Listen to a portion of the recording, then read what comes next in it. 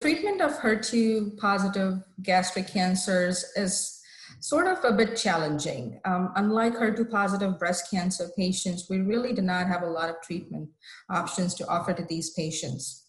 Um, there isn't also any data to continue trastuzumab beyond progression. Um, and a lot of researchers across the world are kind of trying to understand the mechanism of resistance, either innate resistance that is present in tumors at the start of receiving trastuzumab treatment, or developing acquired resistance after receiving trastuzumab treatment.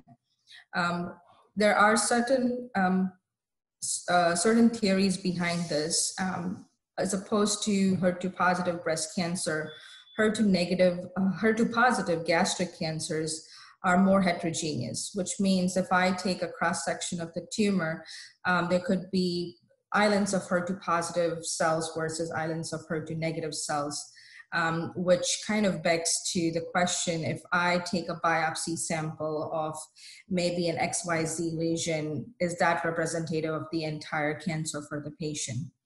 Um, therefore, we do not know if trastuzumab or any anti-HER2 based treatments would be useful in these patients or not.